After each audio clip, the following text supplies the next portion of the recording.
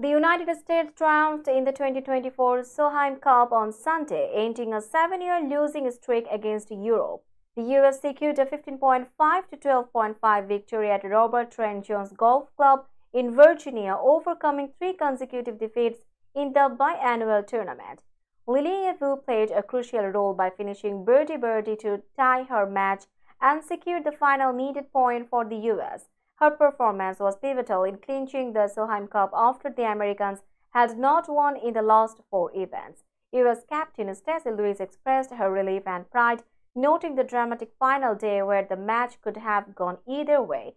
Despite a strong comeback attempt from Europe, the US held on to their lead from an early advantage. Europe's bid fell short despite their efforts as the US maintained their lead from the first two days of play.